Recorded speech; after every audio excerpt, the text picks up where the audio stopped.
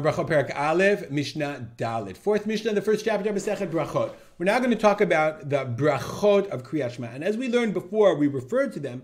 They're not brachot on a mitzvah of Kriyat Shema, but rather in Shacharit, they're brachot before and after Kriyat Shema. The Chazal book ended, they put Shacharit in the middle. After Avinu Shishtabach, right? Psuke de Zimra begins with Baruch She'amar, right? A little before that, and ends with Yishtabach. Yishtabach and Baruch She'amar, brachot that begin and end Psuke Zimra, words of praise, the hilim that we say to praise God as prep for tefillah. The main tefillah that comes in the Mishnah is shacharit. I always say that, like, you know, we spend, we, we, we say the same things at the same speed, but Psuke Zimra are like warm-ups. Shacharit and Shmona Esrei are the big ones. You know, Shema is the Dioraita. Some say Tfilah, Shmona Esrei, Tfilah is also the Dioraita. And then these brachot also are all the way back from the time of the Mishnah. So uh, it's important to focus your tefillah in that way. So it says the Mishnah, Bashachar, In the morning, you have two brachot before uh, before Kriyat Shema, and one after it. Uba erev ushtayim lachar. In the evening, you have two brachot before Kriyat Shema and two after. Let's take a look at the chart of what the brachot are. You can look in your sidur as well. Okay, in the morning, two before and two after. So, what are the two uh, two before? The first bracha, bracha rishona, is Yotzer or Uvarech Choshech. God created light and darkness. And it ends with Baruch Hashem Yotzer Amearot. Blessed are you, God, who created the lights. Okay, and in the second one is Ava Rabba Tanu. And the focus of Ava Rabbah, what is the great love that God gave us? He gave us the Torah, that we're going to read Shema as part of the Torah. He gave us the Torah to make us wise and connect close to Him, okay, to learn, Lilmod, Lamed, Lishma, Velasot, all the beautiful words about learning and keeping the words of the Torah.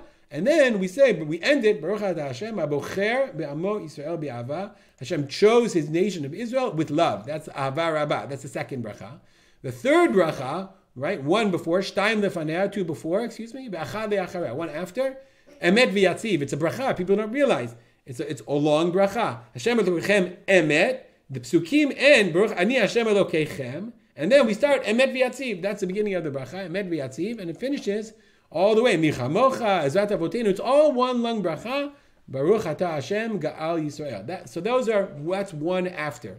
And in the evening, two before. Hama'ariv Aravim. Baruch Ata Hashem Hama'ariv Aravim. What is Ma'ariv Erev Aravim? Hashem. We, it's again talks about the time of day. The, in the morning it's the light, and in the evening it's about the night. And the second one is Avat Olam, God's love. Again, it's a shorter one, but it's also about that Hashem gave us the Torah. Ohev Amo Yisrael, he loves, this love comes through, Hashem gave us the Torah. And then Shtayim La'achar, two after, Emed ve'emunah, okay, it's also finished, Hashem Elohim Emed ve'emunah, Kol you have all this faith in us. It, it's really Baruch Hashem, Ga'al Yisrael is Geula, the bracha of redemption. And the, in, in Arvi, we have an extra bracha, Shtayim La'achareh, of Hashkivei, not Hashkivu, Hashkivei Nu. Hashkivenu. Hashkivenu means wake us up, get us up. I'm not sure where I'm in Hebrew. Here we are, Hashkivenu. Right? Now you should wake us up. Baruch Hashem, Shomer Amo Yisrael. God guards us at night. And so those are the meanings of the brachot. In the morning, two before and one after. And the evening, two before and two after. Says the Mishnah, Achat aruka v'achak One long and one short. What does this mean? What in the world are we talking about? It depends on what long and short mean. So there's a machloket between Rashi and the Rambam. Rashi says long and short mean literally long and short. You have long brachot and short brachot. Some are longer and some are shorter. So what does it mean when the, when the Mishnah says one long and one short? He's talking about the shtei brachot, two brachot after the Kriyat Shema in the evening. We just said, ba'erev shtaim lefanev shtaim da'achareya. And what are the shtaim da'achareya? Achat arucha v'aksak One is long and one is short. Okay, and what's the one long and one short? The first one, let's go back to over here. The long and the short are Emet ve'emunah is long, and the short one is Hashkivenu, one long and one short. That's Rashi's opinion. On the other end, the Bartenura follows the opinion of the Rambam. Let's go back to the machloka we saw before. The Rambam says Arucha means if a bracha begins with Baruch and ends with Baruch, it's called the bracha Arucha. And bracha Ktsara means if it starts with if it's if it starts without Baruch, it starts with whatever and ends with Baruch, that's Ktsara. And therefore, the, what is the meaning of the words achat arucha ve'achak tzara? Those refer to the two brachot before Kriyat Shema, whether Shachrit or Arvit. Mevarech shtaim lefanea. So the Rambam says, what are the shtaim lefanea always? One is long and one is short. The long one, let's go back to our original brachot. The long one, Baruch Ata Hashem starts with Baruch and ends with Baruch. And the short one, Ava Rabbah, or Avat Olam, starts with Av and ends with Baruch Ata Hashem. So the, the machloket of what you hold Aruka and Ksara is will determine how you interpret the Mishnah. Let's look at the ve'aka Ksara. Says the Bar Bartenura, like the Rambam, Ashtayim shelefaneaka. He's talking about the two brachot beforehand. Yotzer or Aruka shepotachet bebaruch bechotem bebaruch. What's Baruka? It begins and ends with Baruch. The same as Ma'ariv Aravim. Ava ktsara, right? Ava rabba, when the morning, avat olam, right? Chotemet bebaruch ve'ina potachet bebaruch. So that's the machlok between the Rashi and the Rambam on this Mishnah.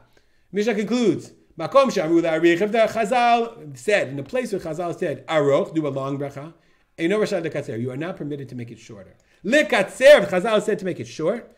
Eino rashai. You can't make it long. Lachtom, if they said you finish the bracha with Baruch Ata Hashem, Eino rashai shelo lachtom. You cannot change it and say, I don't want to say it that way. Vishalo lachtom, and they said not to finish, meaning brachat perot. You say brachat Hashem and berei eitz. You want to say brachat Hashem, who made the trees, and it's awesome, and I love you and God. You can say all that stuff, but don't change the language of the bracha.